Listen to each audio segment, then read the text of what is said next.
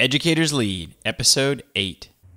Assume best intentions always, that people are working really hard every day for kids.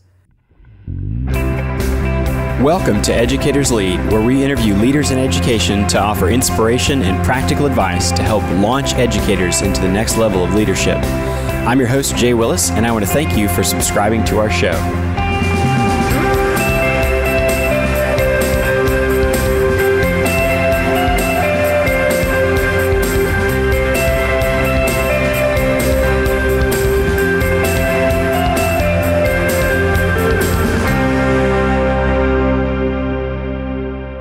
John Lee Dumas of EO Fire, and you're listening to Educators Lead. Let's join my friend Jay Willis and get ready to take your leadership to the next level.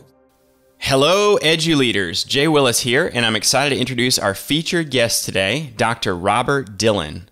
Robert, are you ready to launch? I'm ready to launch. All right. Dr. Robert Dillon is currently the director of the Research Institute at BrightBytes, a national education think tank dedicated to promoting innovation and best practice in all classrooms.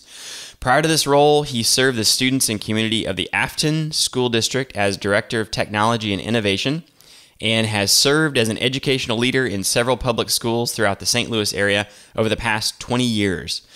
Dr. Dillon has a passion to change the educational landscape by building excellent, engaging schools for all students he looks for ways to ignite positive risk taking in teachers and students and release trapped wisdom into the system by growing networks of inspired educators. Dr. Dillon serves on the leadership team for Connected Learning, a St. Louis based organization designed to reshape professional development to meet today's needs. Dr. Dillon has had the opportunity to speak throughout the country at local, state, and national conferences and to share his thoughts and ideas in a variety of publications. He's the author of two books on learning best practices called Leading Connected Classrooms, and the other one's called Engage, Empower, Energize Leading Tomorrow's Schools Today. He's supported by his wife and two daughters and spends the remainder of his time running, reading, and cycling. That's just a brief introduction, Bob, but tell us a bit more about yourself. Well, uh, yeah, Jay, thanks for having me, and um, it's uh, it's it's a pleasure to talk to all of the leaders uh, as a part of this. Uh, and you know, I, I, always talk about classroom leaders, building leaders, district leaders. Uh, if we don't all wear that leadership hat, um, we're never going to make it anywhere. But uh, yeah, my career's been a great one. I've got a chance to serve, you know, folks not only here in St. Louis, and kids and teachers and leaders. Uh, but it's just been it's been a great path. Uh, I'm a I'm a learner at heart, and so I kind of take on that role of kind of learner and serve it no matter what I'm doing. Hmm.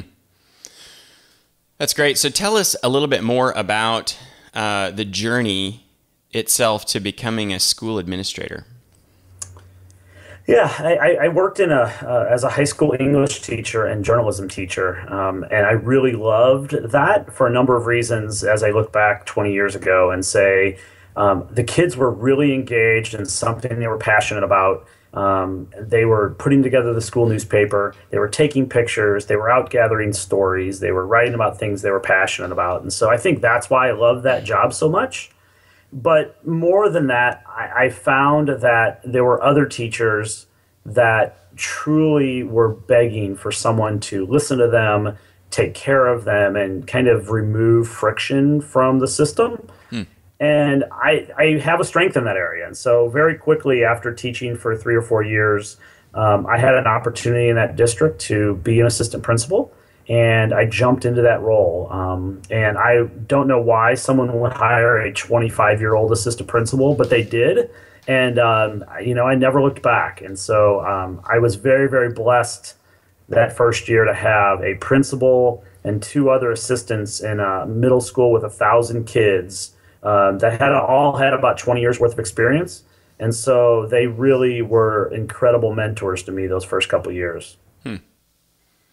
So did you kind of always know that you were going to go into school leadership or, or was that kind of the point i guess just seeing the need was that the point at which you decided or what was that point I yeah you, yeah it's it's funny you know it's you know 20 years ago 10 years ago when people said you know uh, did you love being a teacher? I said i really liked being a teacher. I wasn't very good at it yet. Uh, but what i did know was that i i i brought people together well I facilitated conversations. I got people excited about things. Kind of some of those real rudimentary things that uh, school leaders need to do. And so, you know, just like I tell anybody else these days, go work and have a career where you have strengths.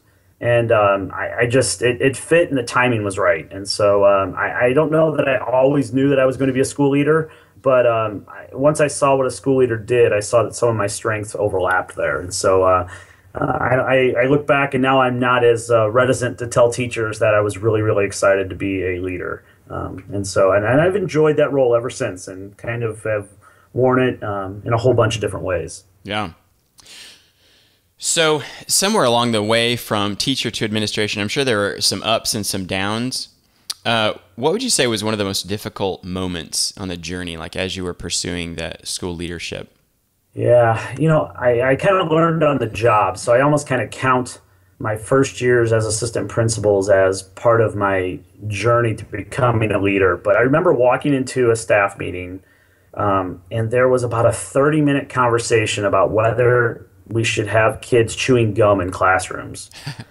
and I was getting frustrated and frustrated and frustrated. And I said something like, you know what, if we spend as much time talking about instruction around here as we did gum, and about the time that came out of my mouth, all I wanted to do is suck the air back in and, like, you know, hit the button on time and reset things. and um, I was definitely an overzealous, like, you know, you know, calling people out, telling people how I thought it was supposed to be with zero wisdom, uh, kind of early administrator, and yeah. it got me into some trouble. And so uh, that um, those were some of the early downs, I would say, as that were a part of that.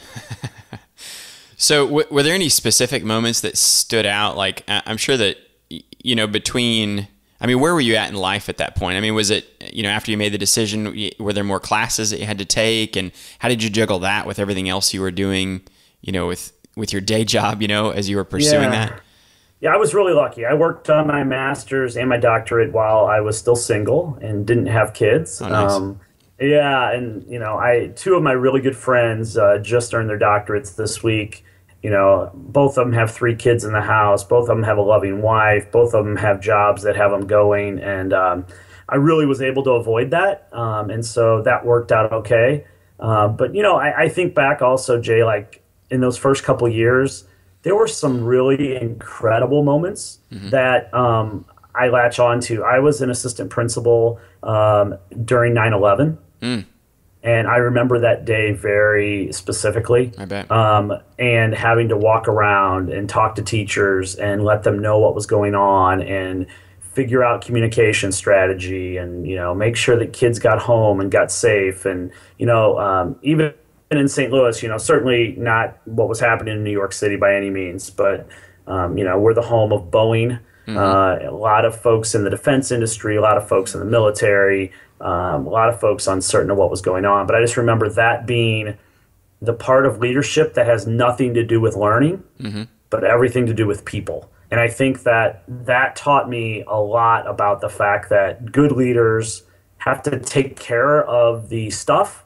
but really nurture the people. And right. I, I look back on that day as being kind of a transformative one in my leadership career. Yeah. So, kind of backtracking just a bit, when you were talking about just some of the struggles and you know being overzealous, which I think probably all of us can relate to, because you know I don't know if if you'd coin it like the rookie syndrome or what it is, but sometimes when you just when you're passionate about something, you get really excited, and like I'm sure those more, more seasoned people kind of look at you and roll their eyes, and just like, okay, yeah, let's just wait until yeah. you've got a few years of experience, and then we'll, we'll talk about that, you know. Um, but what are some things? I mean, maybe that specifically you wanted to address, or maybe just something else. But what are some of the biggest lessons that you learned from some of the struggles on the path to becoming a school administrator that that maybe you uh, you wouldn't be the same person if it hadn't been for those struggles? Like, can you kind of mention some of those? Yeah, sure. I think one of them has to do with listening, and I have become a much better listener over time. Um, before I think I was always in that mode where I just needed the other person to stop talking so I could reply. uh, okay, I'm not listening. I'm just waiting for you to stop talking. Right. Uh, but that has made me become a better leader, and I, I give my wife a ton of credit for that. She's a, a licensed social worker, And I've watched her work her magic uh, with our kids and in her work and being able to really facilitate growth through listening. And so that being a piece of the puzzle. And then uh, I think a couple other things. I think that um, I've learned how to make time for both uh, things that are urgent, but also things that are significant. Mm-hmm. I think a lot of leaders can get caught in the to do list, mm. but never get to the vision, never get to the important conversation, never get to the informal conversation that's important that day. So that that's a piece of the puzzle. And then um, realizing that knowing that this conversation may not be the one that changes someone long term. As an assistant principal, you're meeting with a student, they're excited, they're mad, they're angry, things happen at home, things happen at school. That moment may not be where you make change, but mm-hmm. that could be the moment where you're never able to make change in that student. Mm. If you destroy that relationship, if you respond in a way that's hurtful and without compassion, um, sometimes you have to play the long game with students. Mm-hmm. And I think even that first year, I go back and think, man, I talked to some really tough students and that really were struggling. And there was a moment where I took a whole bunch of file folders that all this discipline piled up in it and threw it across my office. And this veteran administrator came in and said, well, I guess today wasn't a good day. I guess we're going to have to do better tomorrow. And it was just that, like, there's going to be a tomorrow. Yeah, you're yeah. right. And so, you know, I need to get my act back together. And so I, I definitely remember that as a, a, growing piece too. Yeah. Yeah. Yeah. So much of what you're talking about when you, we're talking about just communication, I've learned a lot just in, uh, my wife and I have been married for 10 years now. And so many times when you were talking earlier, just about waiting for the other person to stop talking, just so you can kind of say what you want to say and just the especially in a marriage just uh, in order to have that healthy relationship and for the other person really most importantly for the other person to feel heard and then also a lot of times you'll miss something if you're just constantly thinking about what you want to say and so yeah that's been a lesson uh, kind of a I'm constantly learning that actually. It's not something that I've kind of arrived yeah, in. I don't think, uh, yeah, none of us arrive on that one, I don't think. Yeah. So, what I, I, know you've been in school administration for a while, so I'm sure you have some really amazing stories to share. But what has been one of your, if you could just kind of take us to one point in time that was one of your most, uh, one of your best moments as a school administrator, um, just one of the most memorable ones that stand out to you? Yeah, I actually it actually happened recently, uh, which is kind of interesting. Um, you know, oftentimes we don't see the fruits of our labors, right? Like kids come through a middle school you think maybe you got them on track you don't know and you know i have students now that are in their 30s right right and, and you know they have children they have their teachers and um, i walked into a panera uh, the other day and have you ever noticed when you walk into panera you don't look at the person at the cash register often? You're looking up like ah what am i ordering right. today? So you look up and you're like i want the pick two and i want this. I, so i do that i look down at the student who actually was one of my former students standing there. And we both had this look on our face like, I know you and I know you. And she smiled and it was this, she didn't even have to say anything. And she was like, I made it. I survived. Huh. Uh, really, really, really tough student. I always tell the story that I spent three years trying to figure out a job where you just yelled at people because she was really good at yelling at people. Um, and like adults, kids, she yelled at a lot of people. And I'm like, if I can just find a job where she yells at people, I'm going to find the right place for her. Um, and, you know, a lot of anger, a lot of this, a lot of that. But like, it was just great to have that moment to say, like, I'm okay. I made it, and uh, and there was a little bit of a thank you in that smile too. And so um, I, those are really good moments that we don't get enough uh, as administrators. Yeah, that's neat. I love Panera, by the way. yeah, that's a great place. Um, what what do you think is the difference between the impact you had as a teacher versus the impact you have now as an administrator? Yeah, well, I, I, go back to say like I don't ever think I was a very good teacher. Um, I, I, I never really honed that craft. I felt like I was still in that survival mode of that first couple years of teaching. Uh, I do think that I had a passion, deep passion for writing. Um, I actually have a degree in journalism, hmm. And so I wanted to give that gift off to students. And uh, I really, really enjoyed the classes where I got to teach writing and teach uh, that process. And um, so I do think that a lot of students grew in enjoying writing uh, and being able to do that. Um, uh, as a leader, and actually my, my latest role here as the director of innovation for the Affton School District, mm-hmm. I've really been able to see what is possible if you do a couple of things. One, if you tell people yes, and I really talk about building a culture of yes um, a lot around here, and then also sticking almost at nauseum with the idea that we are going to integrate technology for the purposes of kids to create, make, and design.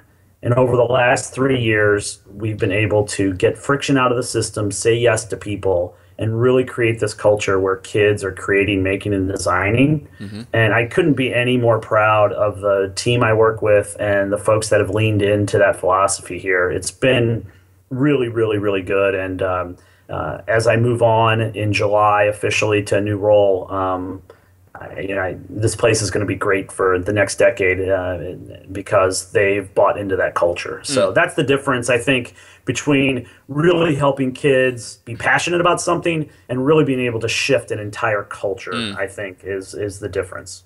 So, kind of digging into that a little bit, if you could expound on what what is the culture of yes, and then what's the significance there? Yeah, and you know, I I don't. That's again, I don't think I coined that phrase, but I I really have bought into the idea that you know ideas that aren't good will die on their own. And as an administrator, if you are the first time someone brings you an idea and you say, no, I don't think we can do that, or hey, can we unblock that site? No, we can't do that. Or do we have the budget? No, we. If that's the prevailing attitude of what goes on, then that has a huge ripple effect hmm. because mm. not only does it kill that idea, that teacher's going to go back to their department, they're going to go back to the teacher's lounge, and someone's go, I have this great idea, and they're going to say, don't even ask. He's going to say no. Mm.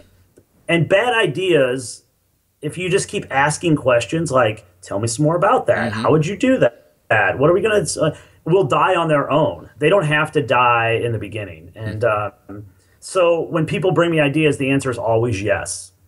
Um, you know, can we go visit this school? Yes, let's figure out a way to make that happen. Mm-hmm. Can we try this out? Yes, let's have a pilot. Let's do that. And so, you know, you don't break the bank. You know, certainly we all have budgets to deal with, but we can build that culture of yes and really genuine excitement around people's ideas.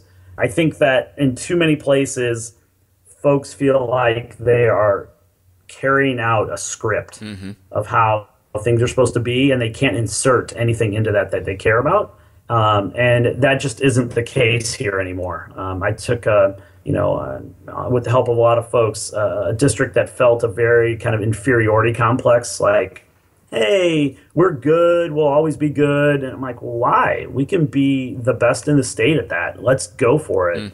Mm. Um, and that energy, enthusiasm, and then just saying yes has made a big, big difference. What's the greatest impact uh, that that has developed as a result of that culture? Just like the willingness to be innovative and try new things. You think? Yeah, you know, on, on three things. You know, I, I, certainly brought a new layer of technology to the whole district, but that isn't it at all. It's when you walk through our makerspace for kindergartners, first and second grade, that they all have as a special. Right next to art, music, and PE, they have makerspace, and those kids are playing and being creative and solving problems. I know that five years out, 10 years out, when those kids are juniors and seniors, that's going to make a huge difference in how things work. Hmm. And then the second piece of that is we were really intentional about changing our learning spaces. And that's a big passion for me. And actually, I'm doing a lot of writing. My next couple books are about learning spaces. But they're coming out and saying, like, you know what? We have to have brain friendly classrooms we have to have places that spark curiosity. Mm. And so if you walk through all of our buildings now, we have uh, some are library spaces, some are old computer labs, some are classrooms that people are going, wow, I want my space to look more like that. And we've been able to do it on a budget, which mm. I think is also a piece to the puzzle. So that, that's those two things I really, really think have made us different than just another district that's added technology to the mix. Yeah. Well, it sounds like you've been able to do some things through that culture of yes that other people probably just they just dismissed it. So one of the advantages I would guess for developing that culture is like let's, you know, instead of just shooting down every idea or one that maybe sounds crazy, let's explore that. Like let's see maybe that is possible and let's let's see if we can figure out a way to make that happen instead of just automatically saying oh that sounds like a crazy idea there's no way that would ever happen yeah exactly and the other the other piece that is so essential and and you know it's called tall poppy syndrome and uh, if you don't know that my friend in new zealand said oh yeah we're a whole country that does that if someone sticks their head up and does something wonderful, we chop it off. Mm. And I think that in schools, if you've ever been a part of the teacher of the year process, and how uncomfortable that is in buildings, mm-hmm. whether that's before, during, or after the selection.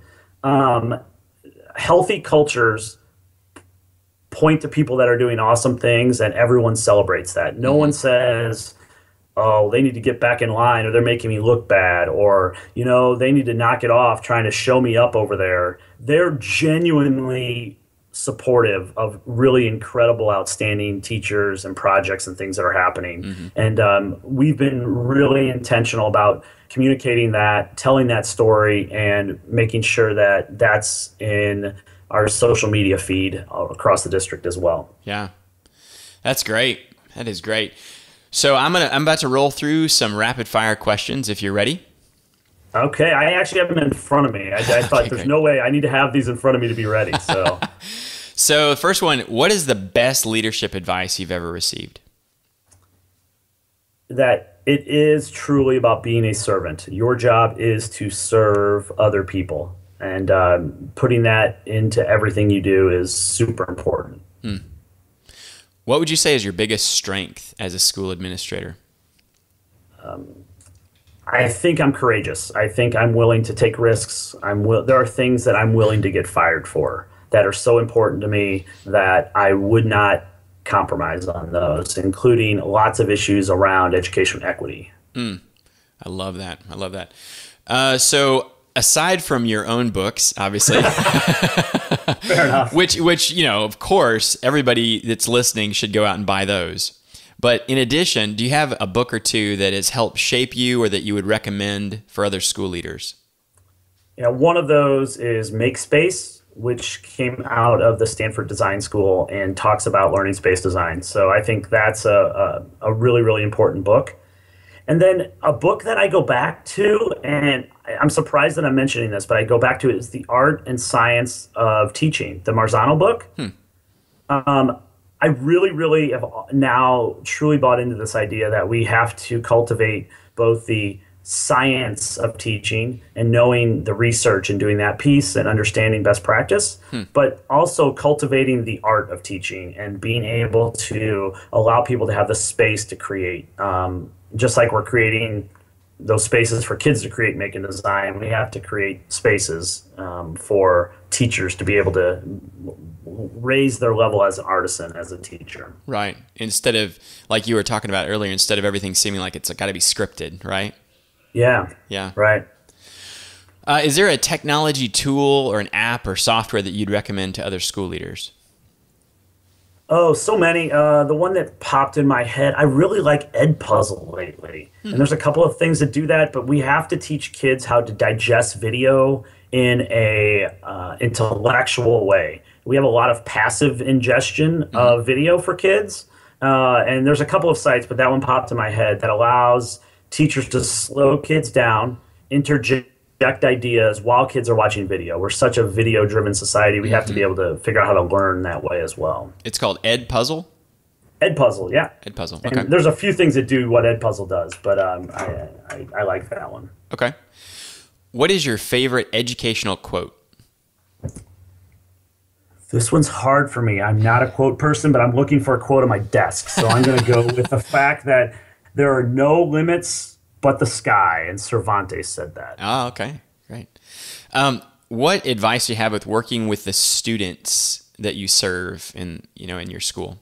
Yeah, you know, uh, Affton is a very unique place. We have the, one of the largest home of Bosnians outside of Bosnia. Huh. And so we one of the f- few school, maybe the only school in the country that has a Bosnian studies program in their high school. So I just think like there is unique beautiful culture in every school if we allow ourselves to lean into it and we have so much to learn about culture and about um, the way that kids live. And I, I, think we don't lean in, even when we try to lean into it, I'm not sure we lean into it as much as we can. Hmm. Um, just finished uh, reading the book um, Between the World and Me, hmm. uh, which is just won a bunch of awards, but it talks about schooling in Baltimore and what that student had to go through just to exist in the community. And so um, I, I think that's a really, really important piece of the puzzle. What one piece of advice would you have for working with the educators that you lead, like the other teachers? Yeah. Assume best intentions always, mm. that people are working really hard every day for kids, and that the change that needs to be made is oftentimes about things that they don't know yet. And so, if you can assume those best intentions and really feel like you're helping to help folks do things different instead of ask, asking people to do things more uh, because no one has time to do more. Mm-hmm. But I think that folks have time to do things different and probably a responsibility to do things differently. And so I kind of take that lens into my work with all the adults that I work with. Hmm. What's the best way to connect with you? Yeah, two things. Um, all of my work and my blog and my website is drrobertdillon.com. And then also, um, I'm at Idea Guy 42 on Twitter. And so I'm, I'm close to giving that up. I think it needs to change, but I've been there since 2009. So it's hard to give up seven years of being at Idea Guy 42. well, I, I was apparently not the first Jay Willis to ever use most of the social media platforms that I'm on. So unfortunately, I had to be Jay Willis 1 in lots of places. So. Yeah, and so yeah, it works. You know, yeah. as long as people know where to find you. Right? That's right. That's right. So, last question, and this one's kind of, uh, it, you know, it might catch you off guard a little bit, but it's a, it's a, I think it's a good question for our listeners to just be able to hear the answer to. Just if you could go back and to when you were a teacher and had just made the decision to move into school leadership, if you could talk to your younger self, what advice would you give yourself? Yeah. Um, I didn't take time to listen to the wisdom of the veteran teachers. Um, mm. Even folks that are in their final years and may not be knocking it out of the park in the classroom, even though I've worked with some great final year teachers, um, take those folks to lunch, take a walk on the track with them, whatever that is, but be willing to humble yourself to the potential that their story holds wisdom for your career. Mm. That's great. Learn from the experience and wisdom of others. That's great. Yeah. Very and, good. You know, I, I, I feel like I was a little too arrogant at the time to be able to uh, know that nugget. Yeah. I think most of us are, you know, like when we're first starting yeah. off and we just, we're young, we think we, we're invincible and just that willingness to be humble enough to admit you don't know everything and learn from like the wisdom and experience of others is such a valuable thing. Yeah. That's great. Well, thank you very much. EduLeaders, this has been a great interview today. Uh, for the show notes of today's show and other resources, visit educatorslead.com and type the word Bob into the search tool to find his show notes. Bob, thank you for sharing your journey with us today. And that wraps up another episode of Educators Lead. This podcast is brought to you by Mometrix, the number one test preparation company. Mometrix offers study materials for over 1,800 different exams, including the SAT, ACT, GED, end of course exams, state standard exams like the STAR, teacher certification exams, advanced placement, CLEP, ASVAB, GRE, and so many more. Mometrix takes the mountains of information students could be tested over for any given exam and boils it all down to just the fluff free golden nuggets of information that are most likely to be on the exam. They couple that with some great study tips and test taking strategies to help students maximize their test scores. With their interactive tutorial videos and a layout that makes lesson planning easy, Mometrix study guides, flashcards, and practice questions are a great fit for individual or classroom use. To learn more about our products and our vault of hundreds of free tutorial videos, please visit educatorslead.com forward slash test prep. That's educatorslead.com forward slash test prep. Edu leaders, thank you for joining us on Educators Lead. Visit us at educatorslead.com for everything we talked about today, free resources, and much, much more.